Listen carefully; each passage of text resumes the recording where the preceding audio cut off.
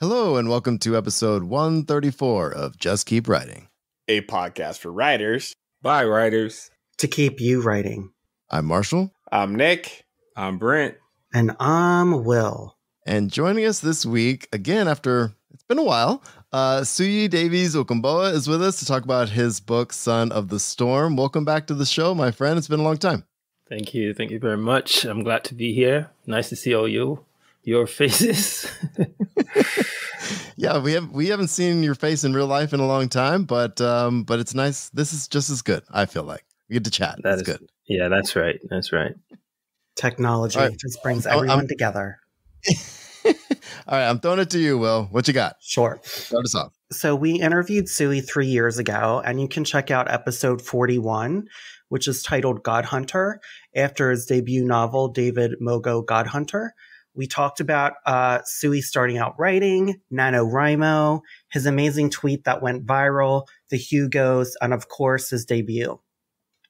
So we're back with a brand new book that is, uh, we're going to talk about book one of The Nameless Republic, uh, titled Son of the Storm. So, Suyi, give us the pitch for Son of the Storm. Uh, okay how do I do this without giving a pitch for the whole series? Because that's how I started to think about it. But um, Son of the Storm really is um, a world where at which there's the center a city called Bassa at the center, and a scholar from that city discovers an ancient manuscript that sort of um, dredges up secrets that you know the powers that be in this city have been trying to hide for a long time, including forgotten magic, um, the existence of peoples that have been thought to be um, non-existent, uh, and the revelation of these secrets pretty much uh, start a spiral um, for him, the scholar, but also for other people he comes in contact with, as well as for the empire as a whole. Uh, and for the rest of the series, we see where that spiral leads. Amazing. So we're going to ask a question that we tend to ask every guest. So describe the writing of this book in three words. Hmm. wow, that's that's a toughie. Is it three connected words or like just three no, separate words? Random, no, whatever comes to your mind. Random first. words. Yeah. Mm, three random words of Son of the Storm, right? Yeah. Yeah, of Son of the Storm. Yeah. I would say it was. um I'd start with it enchanting um, I, I could talk, uh, you know, a bit more about these words, but enchanting is the first. The second would be grueling, and the third will be um, introspective. Oh, nice. You always pick good words. Uh, so we are going to unpack all those words and what they mean to you. So talk to us about okay. enchanting. Um, there's this thing about like um uh so there, there are three modes I typically get into when I'm writing something. The first is when I'm sort of like sussing out um sussing out the story, right? Like what am I trying to do here? What am I trying to say? What what is this gonna encompass, embody, etc.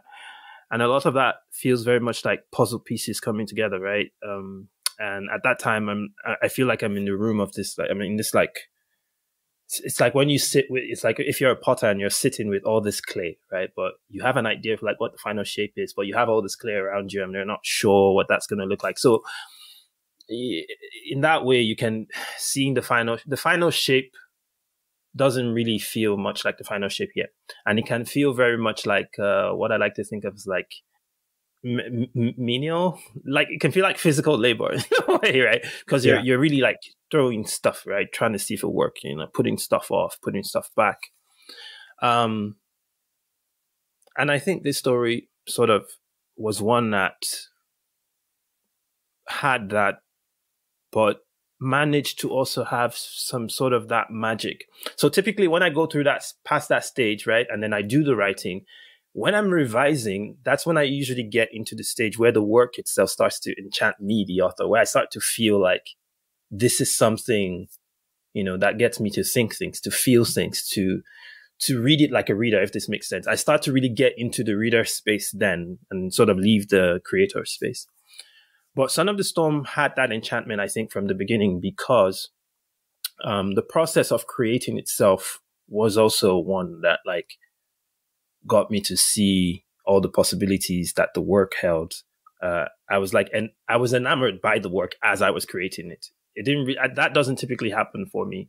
Um, I usually get to that stage somewhere around revisions. Um, and so, Son of, Son of the Storm and Nameless Republic in general had this like, it was a work I would I would look at and feel like this was, you know, this this is good. This is there's there's magic in this work and not in the literal sense of magic. Like there's the magic of story there's the magic of true emotion there's the magic of relationships there's like all the things that i was trying to hit i was i would read them right? I would read the chapter before i start the next chapter the next day and i would feel like there's there's there's magic in that prose. There's magic in that story there. It just makes sense. So I, I i did feel the enchantment of the story while i was writing it which i typically don't get to do so that's why I would say that. Um, and I think that has continued through the series. Um, and part of the reason for that is because the story is a bit bigger than than just um, than just telling the story. It was because I was drawing so much from places that are um, like close to home, right? I was drawn from like you know the Benin Kingdom, like pre-colonial times, and I was like drawn from physical spaces that I actually went to visit um, for like inspiration, right, to design these this secondary world it did feel very much like that for that reason. And then grueling because writing a book of like a hundred and I, I, the first draft was a hundred and it was like a hundred and twenty something, and then it ended up I, I cut like it was 120 something thousand words, and then I cut like um maybe 40k Oh, and then I added, yeah, well, maybe not 40, maybe like 30K words. And then I added back, and the final was like 148 or something. So it was like, it was a lot of editing and it was very grueling. And I was working for the first time with my editor who's like super into like pushing you to like do the best work. You know, she was, she's like, very, everyone, like, she's known in the industry for like asking you to, that, you know, like, squeezing that juice of like you can do better out of mm. you, you know. And I, I am really appreciative of that because like it has definitely made me into a better writer, um, and it has definitely sort of made my process more. You know, it has. Yeah, I've sort of imbibed those questions where I then ask them of myself now. You know, within my own process, so that's useful. But it was definitely grueling. Um, so Warrior of the Wind was even more so. But um, I think these two books are the ones that have most challenged me across everything I've ever written. So yeah, I would definitely say grueling. And then the third introspective is because um, because of so one of this book is about has at the core a lot of discussions about power. And what it made me do was to think about how power functions across all these multiple axes and how those interplay, not just in the world of the story, but also I had to do that. I had to think about how that plays out in our world, the real world, right? Um, and I think the writing of this book has made me like be more attentive, just generally as a person, to how um, you know power, privilege, the ideas of things like freedom or truth um, exist on all these axes of of um, access, of privilege, of power, right? Um, and and sort of like each time we we we approach a character in Son of the Storm or Warrior of the Wind, it's almost like we're asking that question of them each time. Where do they sit in the tapestry of this world? What point? At what point do they exist? Right in this uh, this tapestry that this world is, and how how do they have access to things? Blah blah blah. And so it almost asks me to ask questions of characters that I might have overlooked if I was just writing something else. Right? I had to say why would they make this choice? But but why would they make that decision? Uh, but what would they do? How how can they do that? Do they have you know the freedom to do that? Do they have the power to do that? Do they have the access to certain things, etc. So it really did get me to think much deeper than I typically would. Um, and again, that has also made its way into my work that has come post writing of this book. Um, so yeah, that's that's the explanation for all three words. Yeah, I was going to um, ask, you know, if I re- recall correctly from us talking previous, um, this started as a NaNoWriMo book in 2016. Did you say that in our last interview? In 2016, um, I did write some part of it during NaNoWriMo. Um, yeah. It didn't start at NaNoWriMo because I had the idea before. Um, mm-hmm. But yes, it did start. Um, it did start with the idea around 2016. That is correct. Um, but I started writing the the parts that I had to like say, well, this is this is what the book is going to be. I did write that part during NaNoWriMo. So while it wasn't quote unquote a NaNoWriMo book, yes, I did write some parts. Amazing. Go ahead, Marshall. Yeah, so I'm curious. A, a couple things you said, um, drawing from places you've been or places kind of close to you. So I guess what I want to know, just in general, before, kind of backing up a little bit, but um, the idea to write this particular series of novels in this world, um, the genre, um, and just also like you talked about drawing from your life and stuff. So the introspect, uh, inspiration. So why this?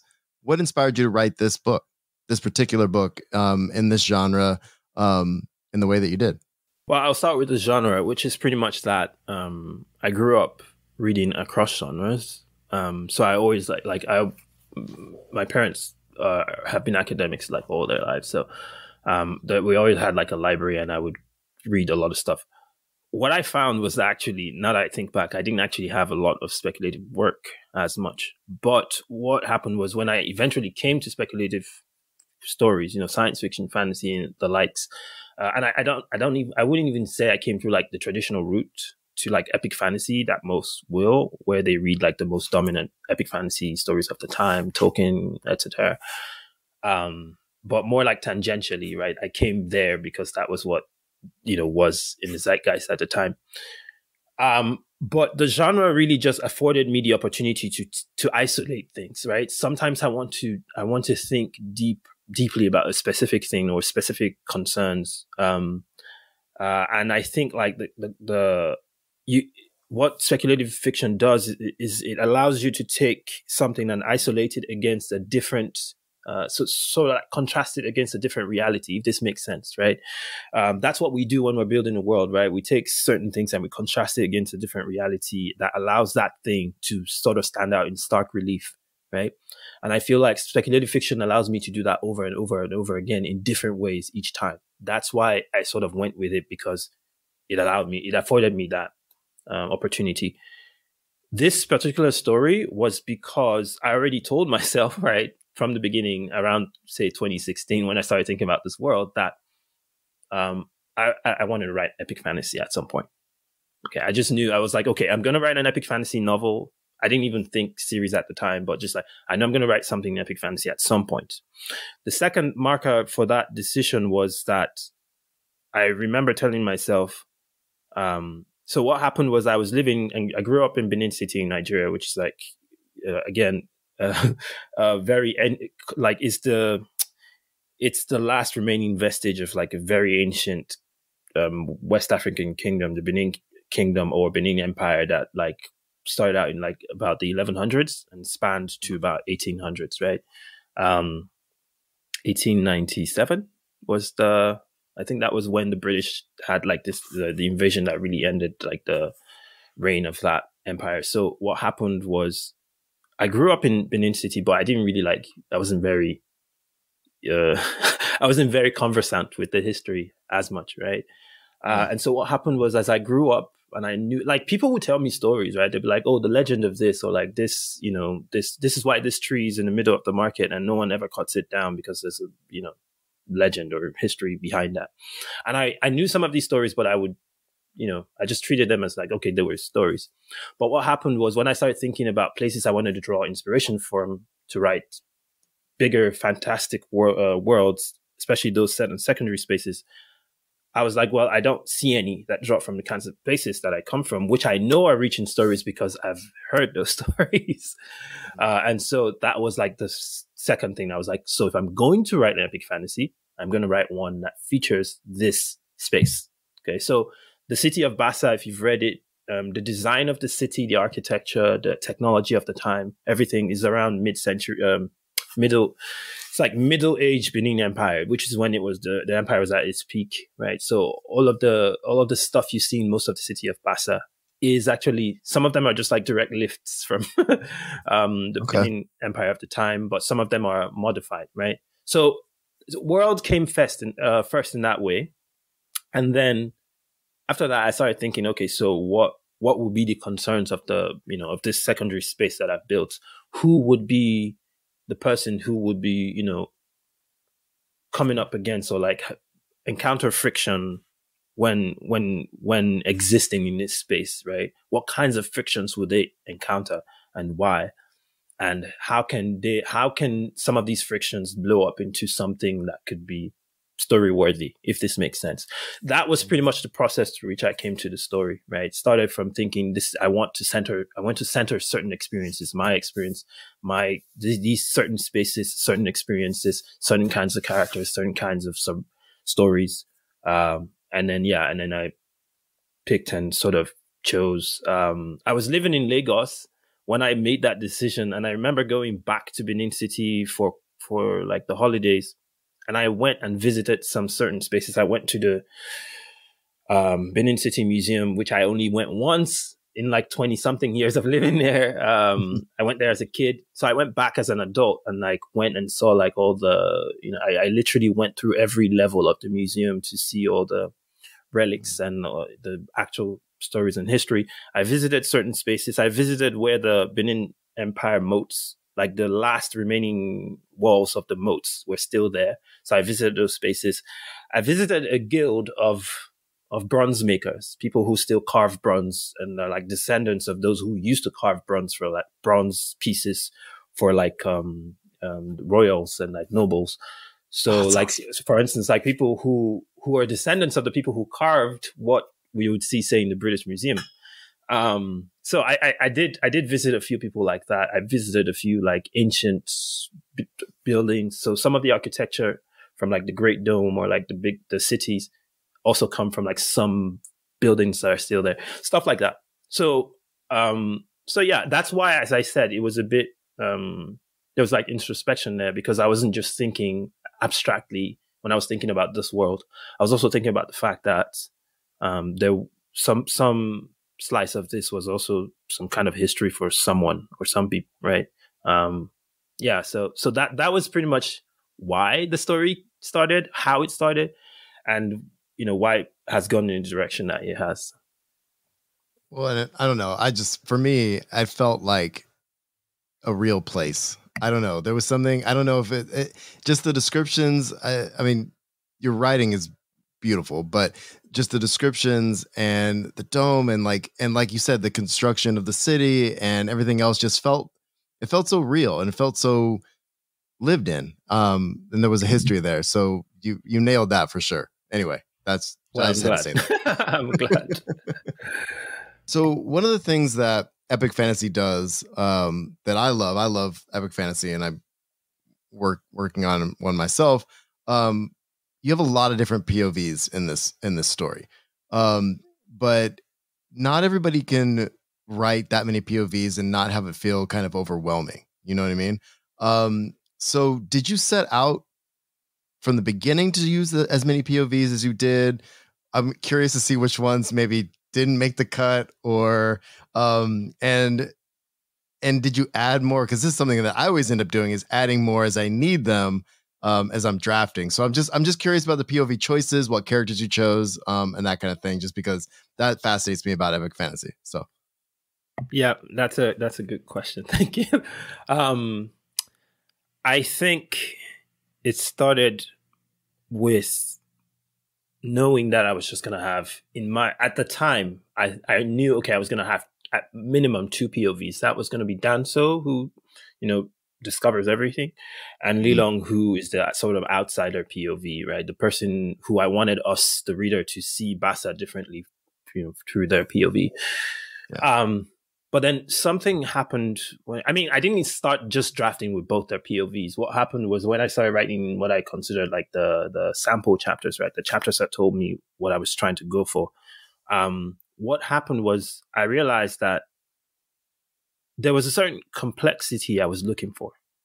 um, in that I wanted us to have uh, a variety of voices that presented us with different points of view. Um, because one of the things about POV is it's not just about giving us an um, a perspective of others or of, the world from another person's point of view. It's also an opportunity to build character for the person whose POV we see right? Mm-hmm. What kind of person is this person? What do they think about themselves is also something we tend to um, forget POV can give you. It's not just about what do others think of them. Is that what do they also think about themselves? What do they think others think about them? All of these things sort of help us shape our perception of the of the character itself.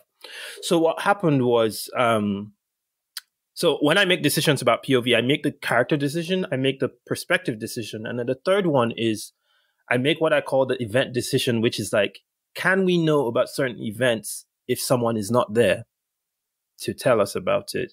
And how much of those events will be crucial to understanding some? So, like a good example is if Danso is traveling on the road, how do we know something that's happening in the city if that thing is crucial to something that happens with Danso on the road? Something like that, right? So, mm-hmm. it, it, I think it was those three decisions that sort of pointed toward needing multiple POVs. Um, and and yeah, when I started, I was I was I was sort of focused on POVs that I felt were, were needed, but two things happened to change that. The first was Esheme.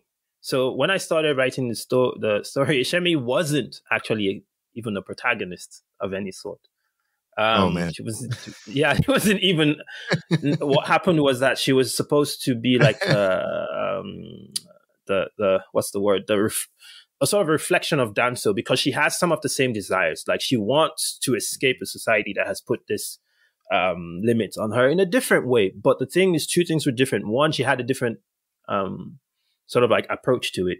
Right? She wasn't trying to beat the system. She was trying to basically crush it. so yeah. um, her approach to like dealing with it was completely different. She was, uh, and it, the thing is, she uh, another thing was she didn't also even like get there like as she didn't have that from the beginning. It wasn't just like she she always knew she was going to crush the system to defeat it. It was more of like she was more savvy in thinking how best may I like navigate this, you know, constraining system that doesn't require me to sacrifice myself. Something like that, right? So she was asking a question that was a bit more, or was a bit braver than Danso's. Danso's question was really just, how can I push back in a very like mm-hmm. confrontational way, right? Um, so th- that's what I, that's what I wanted for her to be like a mirror. And so in that way, even when Danso is like, well, you could tell from the beginning that they're not very happy to be like a couple of sorts. They're just like a couple of convenience or whatever. Um, and they both know it, but then they're playing different roles and they're playing them differently. But what happened with Esheme was when I then did that thing where I'm like, I'm, I'm, i started thinking about her axis of power. Where does she exist, right? How is she, how is she privileged? How is she underprivileged? How, where does she have access to? Where does she not have access to? Blah, blah, blah. I started because doing that means you have to ask the question of then what do they want and can they get it? And I think when I asked that question for that character, immediately I knew the answer was that it can't be a simple answer. And the answer mm-hmm. will require her to be a key major character. And I was like, okay, that means we have a third POV. And I think once that third POV just came, the, the gates just burst open. the POV gates, metaphorical POV gates just burst open. Um, but I then told myself, okay, so who were the people who we needed to hear from um, so I started to think about people like uh, the second's a good example. The people who are like, uh, um, what's the word, indentured servants. Mm-hmm. I was like, okay, what do they think, right? Um, how do they how do they navigate the society? Who hates their position? Who loves their position, etc. Right? Who is at odds with our our protagonists? Um, um, and then, so yeah.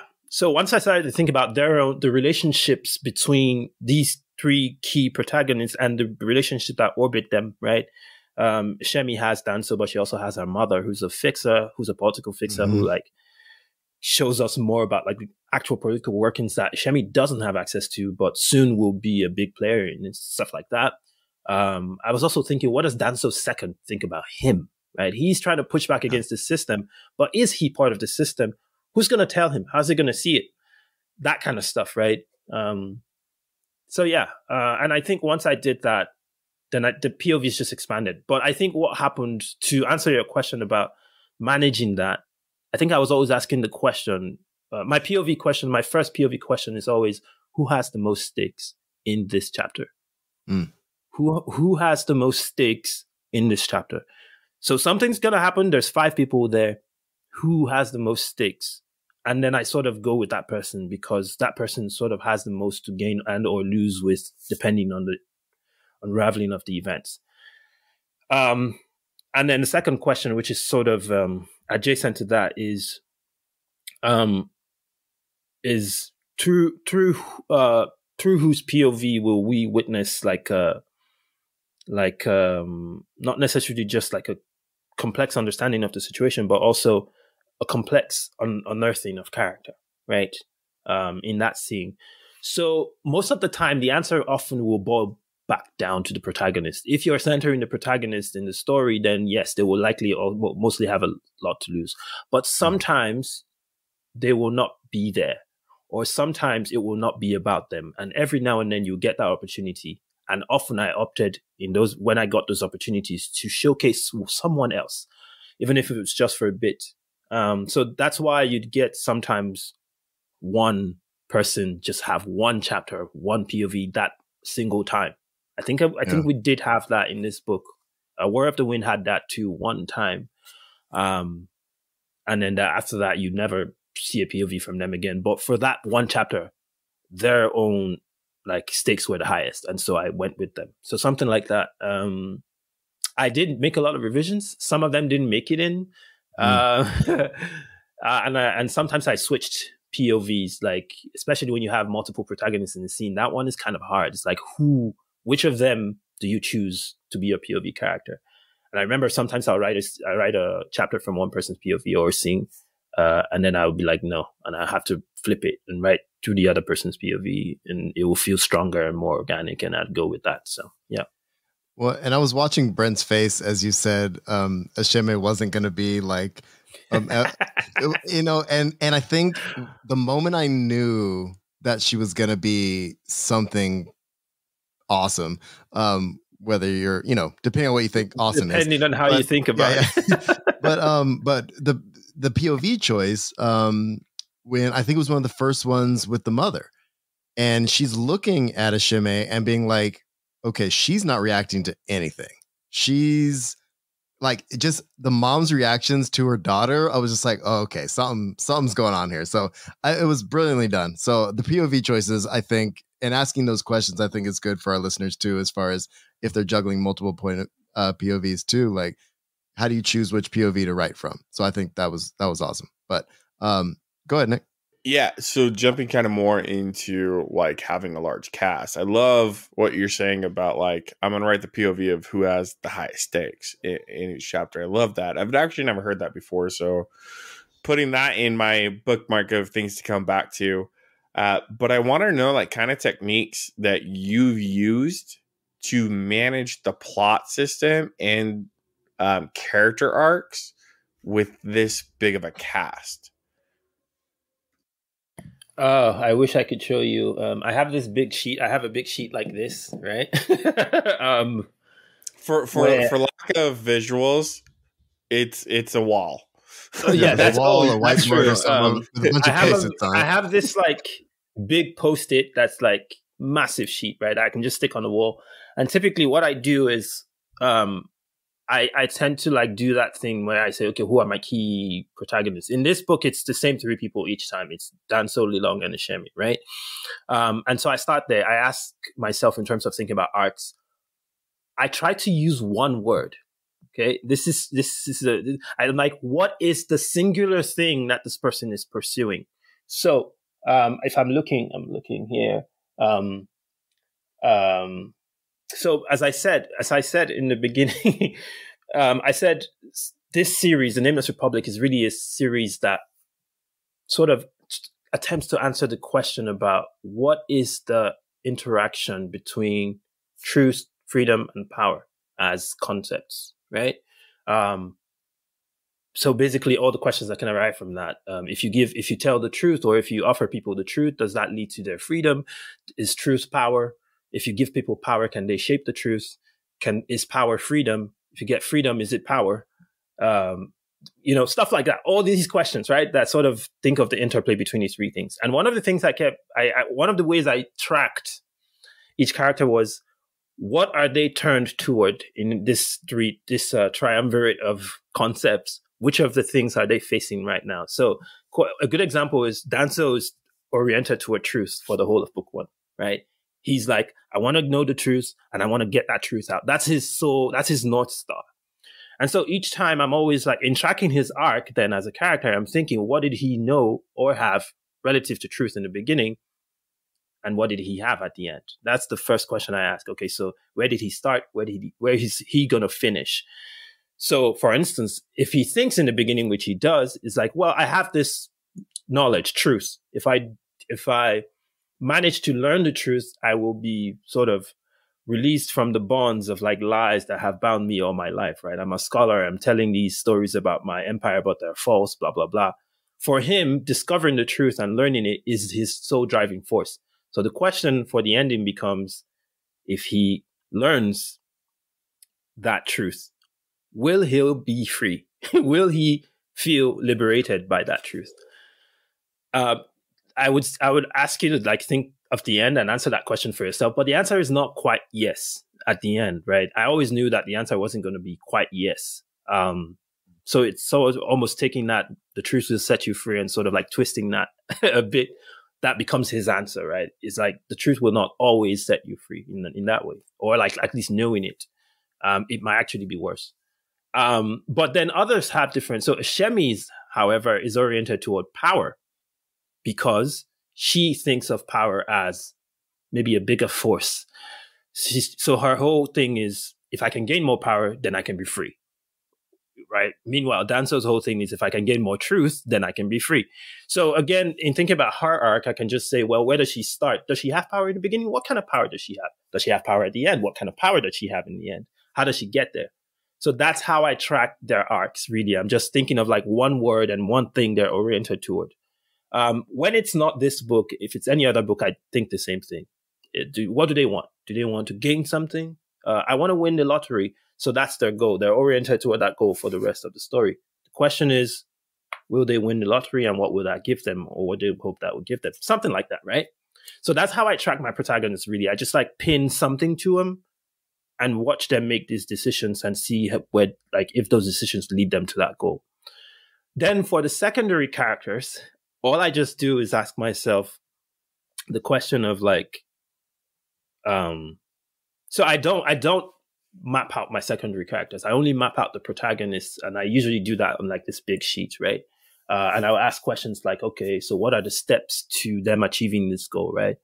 For the secondary characters, I tend to do something similar, but also only um, relationally to the person that they have the relationship with. So a good example is Esheme's mother's arc is also tied to Esheme. So it's like Mm-hmm. as her daughter is progressing towards gaining this power, where does she exist relative to Esheme at the time? And is her her own goal A in allyship with Esheme or B against? So that's mm-hmm. typically how I think about the secondary character. I'm like, okay, is their goal for or against the person that they're related to? Um, and then typically I just have them sort of be there. Uh, and and and then everyone else is a minor character. Really, they don't. I don't think too much about them. They don't have goals, or if they have a specific goal, then I one thing I tend to do with minor characters, funny, is like they're the only people I try to get to just say their goal from the beginning. I, that usually helps me. Like when you meet them the first time, if you if you notice. Uh, so a good example is in in Son of the Storm. The first time Esheme meets this like generals from like the resistance or something they just stayed out. They just flat out say we hate you or something like that. They just say it, just like we don't like you. You know, uh, go away. Um, this is what we're trying to achieve, and they just flat out say it. But that's something I try not to do with my key characters, so it's not too much on the nose. Um, so yeah, and then how do I keep track of these? I use spreadsheets.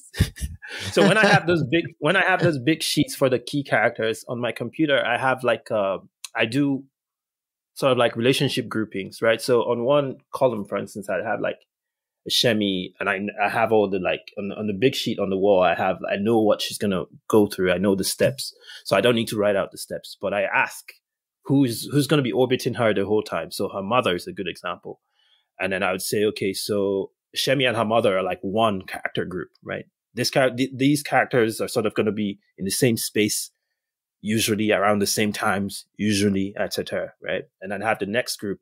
Uh, say in Son of the Storm, the next group is like Danso and Long are traveling a lot together, so it's like they're a character group as well. So Danso and Long is on one hand.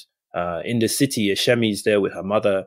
Um, is anything happening in uh, some other part of the city that's you know? So I would I usually have like six tracks as a result oh, this person is here doing this, this person is here doing this, this person is here doing this.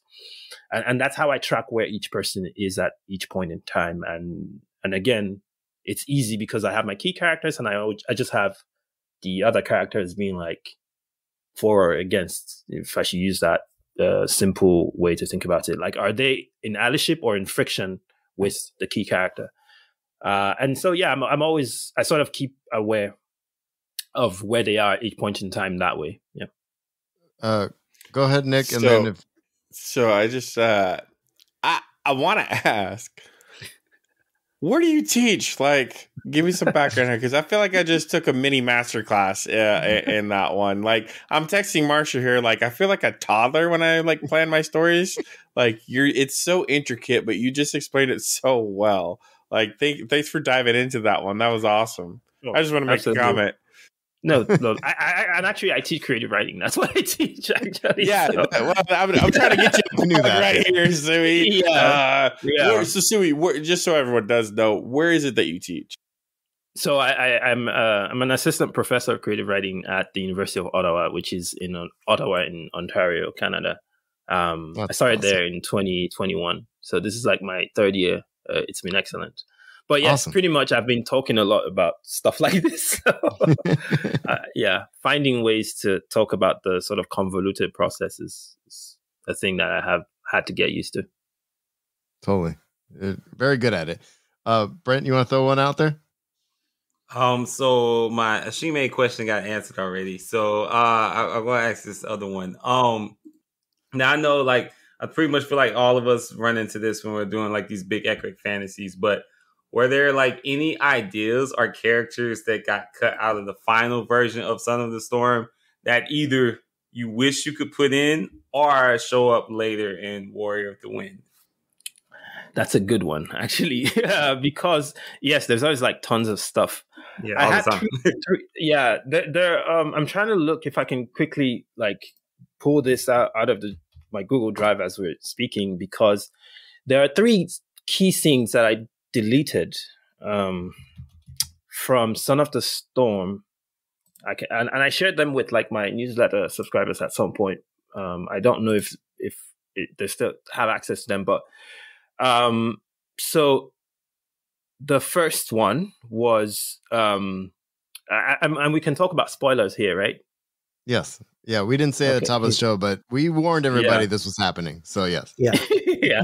So three the three scenes don't get added back to anything. None of these none of the stuff that was cut in Son of the Storm made its way into War of the Wind. Um, mostly because they were, you know, focused on the events of Son of Storm. But um, three of them, the deleted scenes I wish would have made it. The first one was that um, in the first iteration of the plan, right, to steal this that Nem makes to steal this like Ibor, um, she doesn't just send um like people out to like go find it. Um instead she actually goes to like the most like the guy who has the like most um in influence, right? The most affluent, influent guy who ends up being like an antagonist of sorts later, um, and asks him for an army. She's like, I want an ar- I want an army. um, uh, and and there's this there's this um, so so that first so there's a scene where the first elders show up at Nem's house, Mm. and she has to sort of like play this game to like you know be nice to them but doesn't tell them that she's already secured the the. So I wanted a bit of intrigue, so I stripped stripped out her just asking for an army, and figured that if she'd already sent like very small resources to get what she needed and did get the thing, she'd be guarded, right? And so having mm-hmm. first first elders just show up at your house would be like, do they know? What are they here for? So it would sort of raise the intrigue bar a lot. So I went, I opted for that, and it, re- it really made that scene of what is supposed to be a celebration very tense. Um, yeah. But in the first one, it's just a meeting, and she straight up just goes to this guy and says, I want an army and I want to go to desert lands and just like find these people and get this this magic thing that I discovered exists. you know, uh, and the guy is like, absolutely not. no. no, no one's gonna give you an army. But like, eventually, he says, um, I've forgotten how the scene ends. But if I look at um, this, what she does is, um, yes, what she does is she does, um, she gives this like big speech instead because he refuses. She gives this big speech to all the elders and says, "Well, I told this guy to give me an army, and he said no." So she stages an actual, uh, she stages an actual like a fake murder with pig's blood on an actual person. Um, what? Yeah, to sort of say, look, this person has been killed by this invader. So you must give me this army so I can find this magic thing, or else we will all, you know, something like that. It was a, yeah. it was a very, you know, dramatic. Well, I asked, I tried, I talked to you, but you didn't. So she goes for this other play that's a bit mm-hmm. dangerous, uh, but but works out because they say yes, we will give you an army. Uh, but the reason I scaled back on that is because we're also thinking about Bassa at the time as like a place that was failing. And so it only pretended to have power, even if it didn't quite. So an army, therefore, would sort of like someone just having an army would be a bit much. So that's why I scaled. Well, and there's a and there's a conversation later in the book too where I can't remember which characters are, but somebody mentions like, "Oh, is there an there's an army?" And like, "No, there's yeah, no exactly." Army. There's no army. It's like yeah. the, the the empire is actually too poor to have it to maintain one. so mm-hmm. they mm-hmm. just they just pretend to have one by having like this crackdown on like any sort of dissent or something. Um so the second deleted scene is actually that so if you remember sometime when Danso leaves Bassa and escapes to this like protectorate, what happens is there's there's a guy that's sent after them, a specific guy who goes with his own like bounty hunting troop, right? and he goes mm. there and there's the showdown. Uh, in the showdown, some people get killed. Um, Danso's second gets killed. The guy himself gets killed. But in the first instance, what actually happens is when Danso and his crew and Lilong, um, uh, and even the woman who helps them, when they arrive in this protectorate, they're actually all put in, in prison. All of them. Every single one of them. Um, and then the envoy arrives, arrives and says, I am a representative of Bassa tasked with bringing them back. And the the leader, who's called the Supreme Magnanimous, right? yeah. Who says, Which I love. uh, yeah, that was just. so the Supreme Magnanimous says, That doesn't sound right. And she knows something is up, that this guy is not here for them, but here for something more. And that's when she knows they have something that's bigger, that's evil. And so she actually goes back and frees them and says, go, run, because someone is here to kill you. Uh, and then the, the eventual trip that the whole of Whudasha takes, right, that protectorate takes in the actual book, in the first iteration, it was her just freeing them and giving them directions to the dead mines to say, oh, go, run, cross the border, get into desert lands, be safe. Uh, and then she dies because the envoy real, finds out and then kills her. but then what happened was I was like, mm, I don't know, that felt too easy.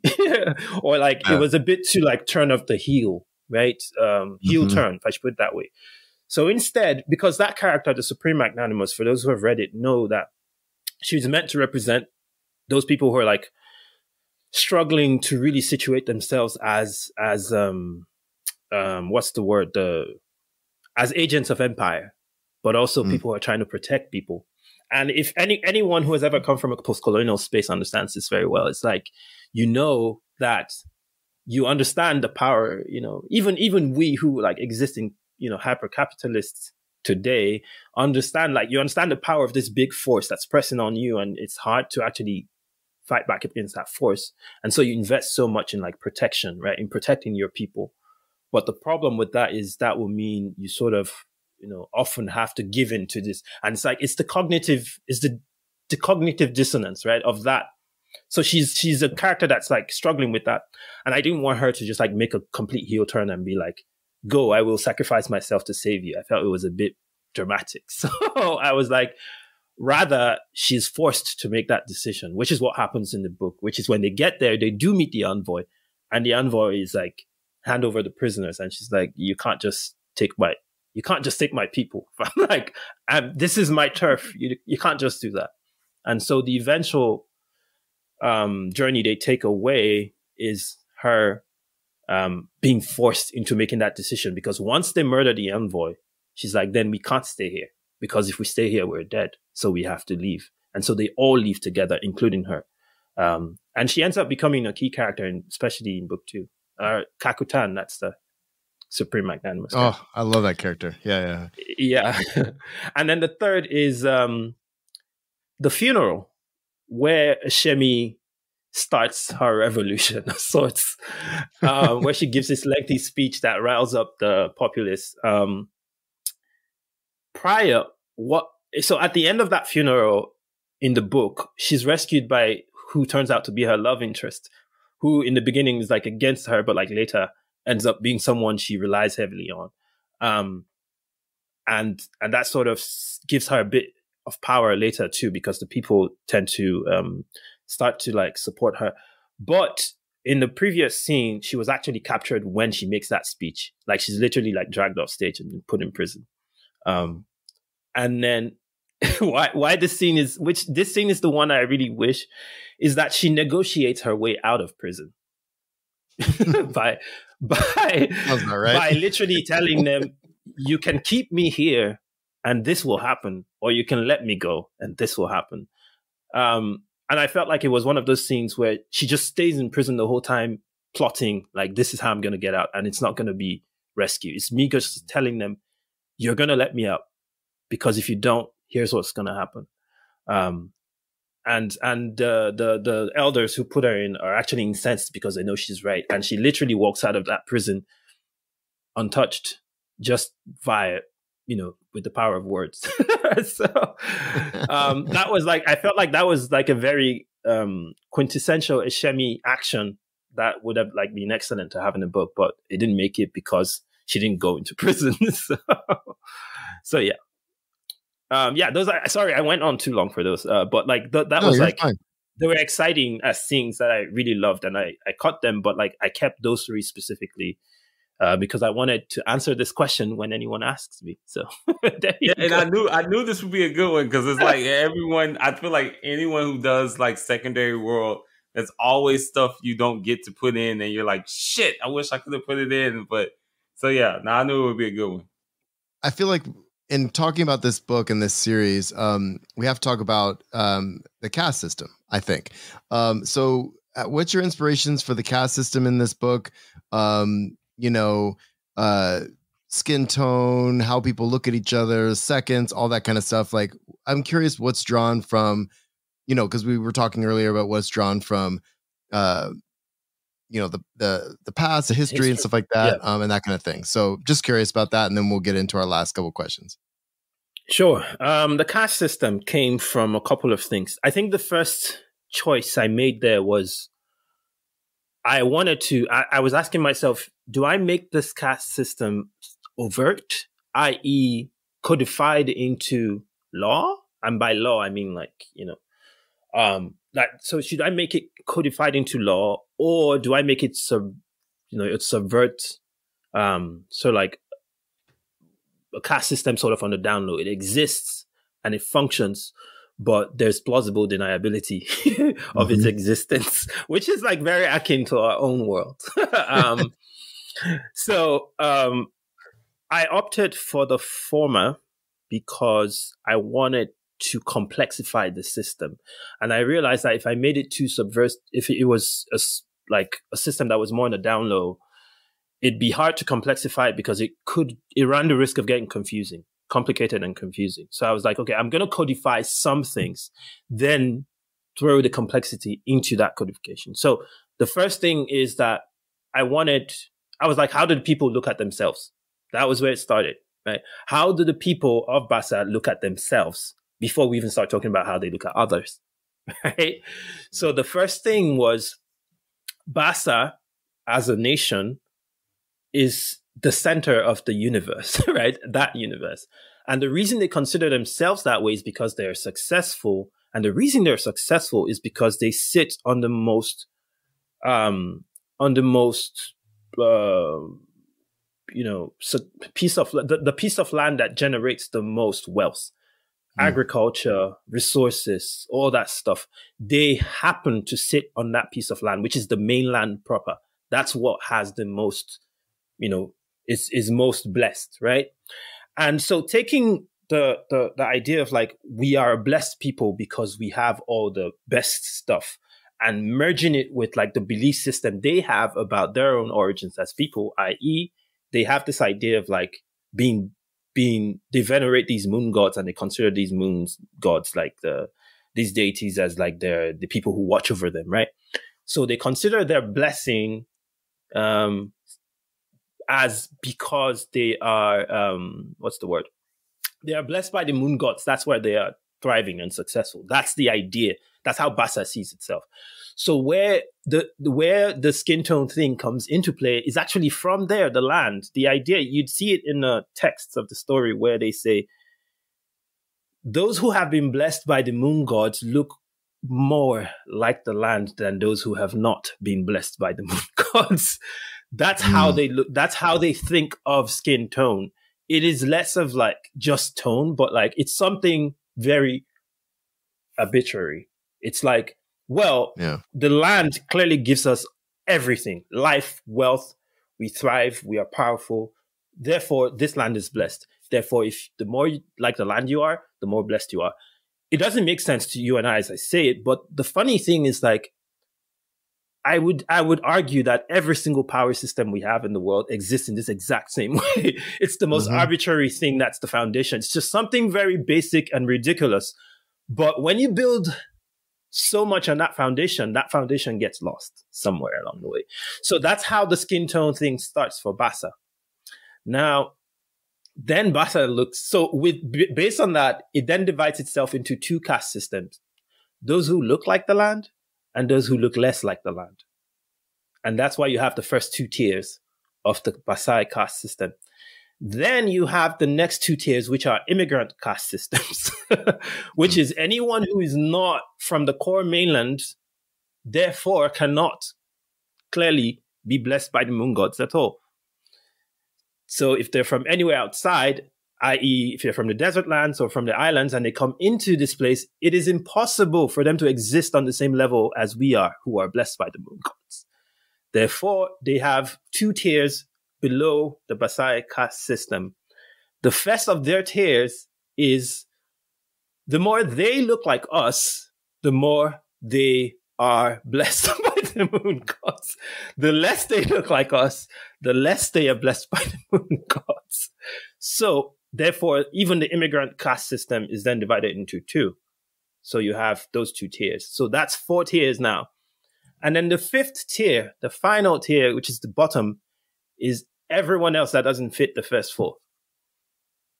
That's that's it. That's the system in a summary, right? That's how this. That's how I I thought up, up the system. It's like anyone that doesn't fit the first four or is not a seamless fit into the first four, um, is is gonna fit that fifth fifth. So that fifth is sort of like a catch-all for everyone from like people like Danso who are like mixed heritage. They're like, what is that? I don't know what that is. Fifth, fifth tier. You know, we don't we don't understand that, you know. Um and then the other thing was also how much movement was possible. So a good example is you could see some people from the immigrant tiers could move from the lower immigrant tier to the higher one, but they couldn't move into the Bassai tier. That's mm-hmm. a good example of what could happen. Um, it could also be that people in the same family could become belong to two different tiers just because they look different. So a good example is Nem belongs to a lower tier, Esheme belongs to a higher one. be, just like by vir- by accident of birth, as they mm-hmm. say. So access and all these things matter differently. But then within those same systems, you have someone like Danso who has a specific skill that is desired by the topmost tier. And they find it strange that someone who they understand to not be blessed by the moon gods has that gift. And so they're like, well, I guess if he has it, maybe the moon gods made a mistake and blessed him somehow. So we can let him in to our tier, but not completely. We also have to remind him of where he's really from, which is a fifth tier. But he may have access to the university. He may have access to our classes, but he's not going to be fully integrated. So, like a good example is in the class in, at university, Danso has a special seat. He doesn't sit with the other students. He doesn't right, sit with the other right. students. He has a special seat separate from them. Um, so I didn't want to like use the same terms for like segregation and all of that, but you can see all these things are clearly there. And the system is codified to some degree, not codified to some degree. Now, the, the other thing is the further you move away from Bassa, the more all of this falls apart. Because the first thing that happens in War of the Wind is when Danso leaves Bassa and goes outside into desert lands, suddenly people look they run like people look differently across the spectrum of like skin mm-hmm. tones, mm-hmm. shades, hair, hair, hair texture, stuff like that. And there's no there's no caste system. But some parts of the desert lands have that more than others. The, those are more in tune with Bassa, for instance, still practice it to some degree. Maybe not as codified into law, but they they use the they, they measure with their eyes, right? and mm-hmm. still say, well, you look like you could be a you know um, but the further away from Bassa they move, the more all that structure falls apart. And if you move far away from Bassa enough, it just disappears completely. That's what a lot of what happens in War of the Wind demonstrates that that it disappears the minute you leave Bassa.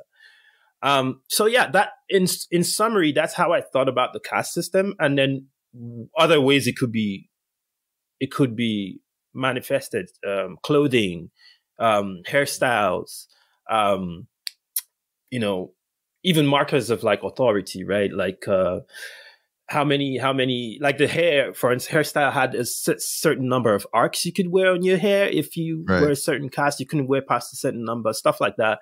Uh, certain clothing. How do people in certain, uh, even where they lived, right? The districts, the wards they lived in, the closer to the Great Dome you lived, the more you'd be in a higher caste. The further, the lower your caste went. Right. Um, who, who, who was allowed to be in the same district with someone else what districts were mixed what districts were like you know required to be only certain castes all that kind of stuff is just there.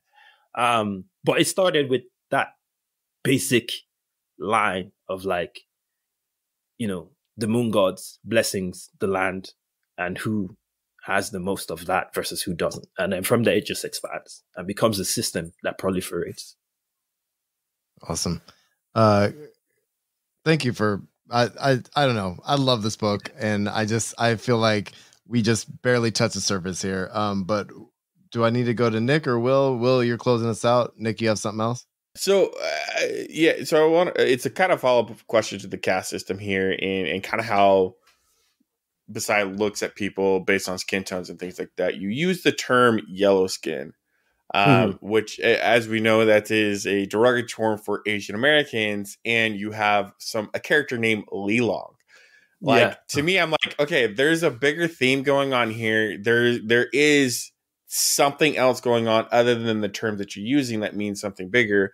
I kind of yeah. want to like, can you explain some of that to me and, and what you know what your decision making was going into that to use that term, um, and what you're speaking to with that.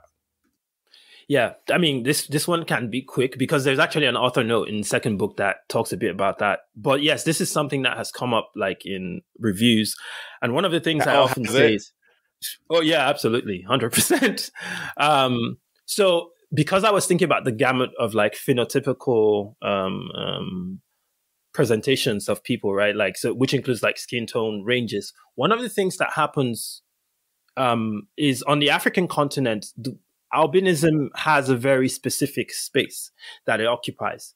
So, um, in in many languages, not just indigenous languages, but also in English or how Nigerians, for instance, will speak English, people would reference someone who's very light skinned as yellow. That's just a thing. It's not. It's a, it's a descriptor. It's not derogatory. It's pretty much the same thing um, I, I think it's even used in other places, like in in you know West Indies, for instance. I think that in the Caribbean, it's like spaces where people would use yellow as a descriptor, um, and specifically or especially so, uh, especially for folks with albinism, like description using yellow as a descriptor is like not always. I, I wouldn't say some people can use it derogatorily, but typically it's just a descriptor.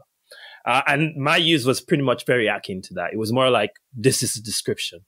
Um, but the other thing too was I also at the same time wanted to pinpoint how that can be used, weaponized, right? So in the story, it is weaponized by people because actually in the African continent and many parts of the continent, it is also weaponized against people with albinism. Um, and I wanted to mirror that. So in fact, there are these scenes where Danso will literally re- repeat some of the things that he's being told about people who look like that. And Lilong will be like, does that make any sense to you? Right. It's, it, and some of the things that Danso repeats are Im- even like direct lifts from literal things that people on the African continent say today in 2023. Right. So, um, I was, I wanted to like reference that and show that because that doesn't often show up in a lot of fiction, especially fiction, African fiction that I wanted it to not just show up in like, I didn't even want it to show up like, oh, this is a book that just writes about albinism. I wanted it to be like persons with albinism just randomly showing up in books that center people of all, like if we're looking at a range of the way people look, right? So that was that was really where it started, and then it just happened. And I didn't, of course, as I was writing, I didn't see anything wrong with the term until, of course, Americans read it and were like, "Well, here's this other way it could be interpreted." Um, and I'm just going to point out that the name Lilong is actually just a short um, shortened version of the Lilongwe River, which is an actual river in East Africa. So it's not even necessarily. so it, it, was like literally as you say it, someone else also saying, "Oh, this are you? Does this have any reference to?" And I was like, "Well, first of all, I'm not even American. Like, I don't know. I don't have. I'm not drawing from there. I'm not drawing from that reference. I don't have that history. I don't know that history. I'm not working with that history. So even if I can understand if someone else could be like, this could sound like this, well, I think I think any discerning reader at least would say, well, clearly nothing here points like there's no everyone in in Son of the Storm and this book is like a black person essentially. So like it's impossible for that to be the case. Um, but I could understand, and I remember writing this response to this reviewer to say, well, I can understand how you could have that concern, but um, I just want to, you know, assuage your fears. That is not the case. Um, and also, I hope discerning readers, most discerning readers, walked away with that understanding. So, um, yeah, yeah. No, I I was curious because I, I felt like there was a bigger meaning that I was missing behind there, and you contextualized yeah. that perfectly. Um, mm-hmm. so because I, I, didn't for once think you were using that in in the way in which other people had to interpret it. So thank you for explaining yeah. that. That actually like opens up a lot for me on that one. Okay. Brent. Brent. Yeah. yeah, just to kind of piggyback off that, I think sometimes American audiences we have to learn to stop making ourselves the center of the universe when it comes to the things we read and the stuff we see. Because I remember this controversy happened not too long ago where this artist from South Africa was being given crap for saying colored, and it's like, well, color yes, has. I remember. I remember that one. Yeah, yeah, yeah I remember like that one too. yeah, it's like color has yeah. an entirely different context in South Africa, so you got to kind of chill and like take a breath and like you know, I think I think social media has a part to play in this, where we're all like ready to like attack dog when we see something. It's like, well, no, take look at the wider work, think of the like larger context. Because for me, I definitely saw um I, am gonna say it wrong about albinoism. Yes, I said it right. Yeah, that's what that's what that's why I picked up on when I read it, just because I did have some of that reference and how you know those those people get treated on the on certain parts of the continent. So that's that was kind of like that's what I drew from it. So I think like I, for me at least, I would I would encourage listeners to like if you have a certain viewpoint, be careful and kind of be be mindful to decenter yourself from it sometimes if your first reaction is to wonder at things like that.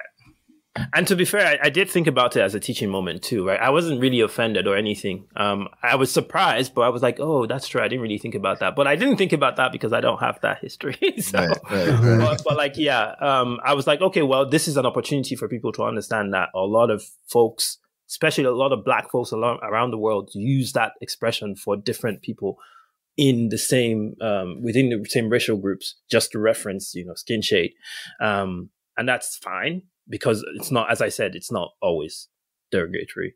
Um, so yeah that's that's pretty much it. But at the same time i think again if you're a discerning reader and you actually read the book clearly you can see them clapping back even at the term in the book.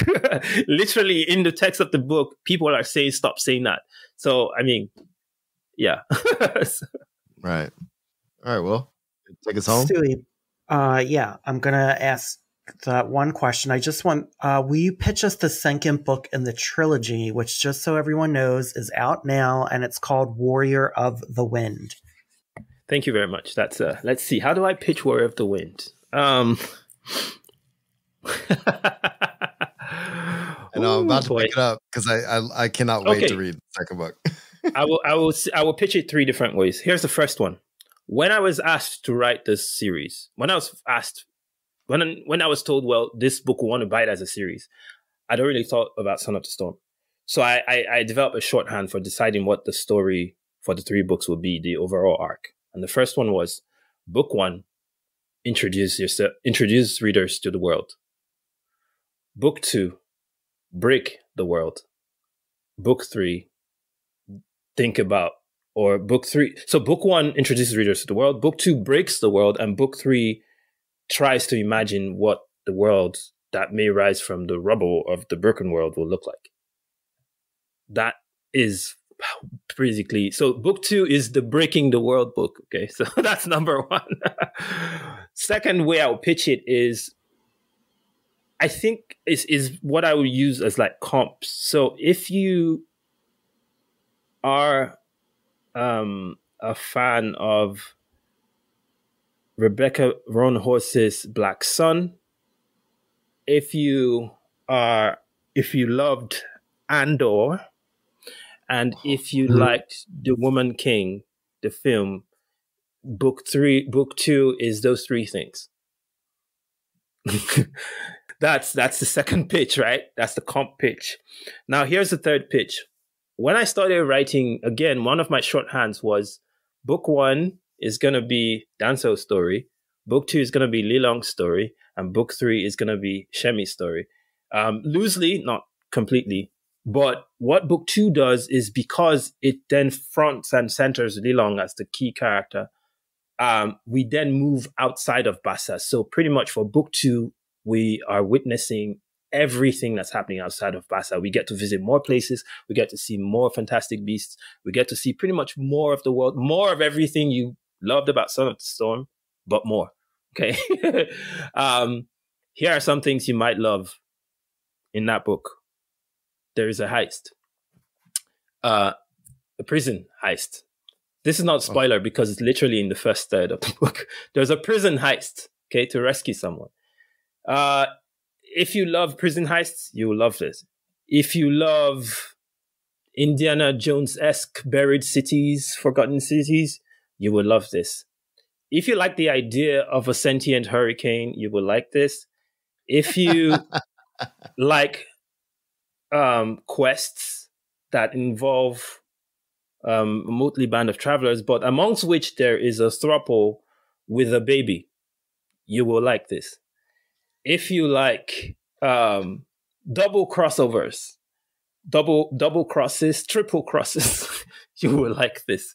Um, if you if you love to see uh there's a if you love to see there's a specific creature called a swamp dragon called a Ninki Nanka. It's a swamp dragon that is specifically specific to West African folklore.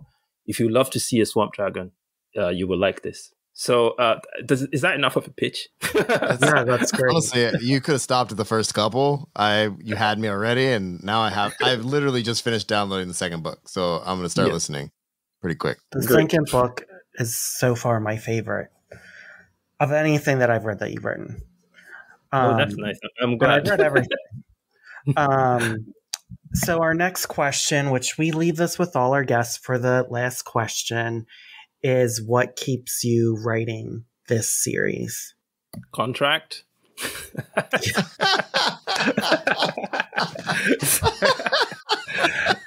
I mean, let's start there. Let's be, let's be, Yeah. Let's yeah. be real. I'm Yeah, not- right. yeah, I, I have to write it, or else someone, someone's gonna send me an email. But, but yeah, outside of outside of of um, contract demands, um, I think first of all, I want I want to see how I can land the plane safely, as they say, right? With with trilogies, it's like how do you land the plane, right? And how do you do so? Um, I met I met Fonda Lee this year, uh, and I remember like asking her, like, how did you do it? How did you land Jade Legacy so well? Like, uh, and she, you know, she talked about all these things, and I realized that, um, tr- trilogies, unlike other books, really give you a sense of like creating, like, really truly taking something for a ride and landing it. Like it, it really feels like that. It feels like you're a pilot. Like you take this plane to the air and like you land it safely.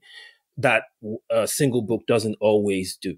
Um, and I, and so like that to start the drive to like take these characters to an end that is befitting of them, that is befitting of the story, the world, that is befitting of me, the author, that's befitting of the readers who have followed this story.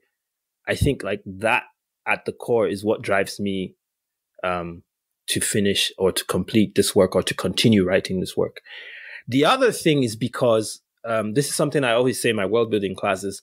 When I build a world, I typically think of the world as a world that exists that multiple stories can exist in. So in this way, I'm always thinking about this story as one complete arc that exists in this world.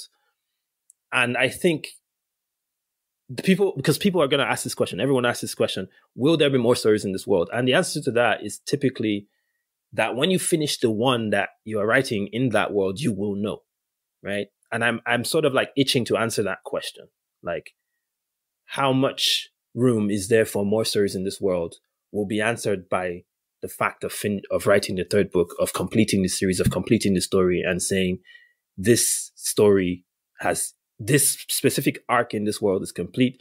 Th- this journey with these specific characters is complete, but there is room for more, and this is how much room there is for more. I, I, I'm itching to answer that question, uh, and one way to answer that question is to continue writing. But then the last one is just I need I want to you know savor the last book, like it, Mm. the amount of time I have to spend with these characters. This what you see here for those who can't see is like a sheet of like post its and sticky note stuff. This is book three. Okay, this is Mm. all book three here on the wall right here. These are chapters and scenes and stuff. Um, so I'm I'm hard at work at it. Um, it's excellent. It's exciting. It's it's it's bigger uh, than like the second book was bigger than the first. The third one is bigger than both. not not size wise. It's not chunky. It's just bigger, like scope wise, thinking wise, introspection wise. Um, you know, if there were two, one, if there was one beast in book one, there's three in book two. There's like five in book three. It's like that. Uh, Everything is just more. Um, so yeah. If they ask, if you ask me what is how is book two rela- relative to book one, more. How is book three relative to book two, more uh, even more. So, um, yeah, I just want to savor that for as much as possible um, and land the plane safely. Yep. Awesome. Well, see, I can't thank you enough for being on with us again, um, talking about your work. I am stoked by the second book, third book.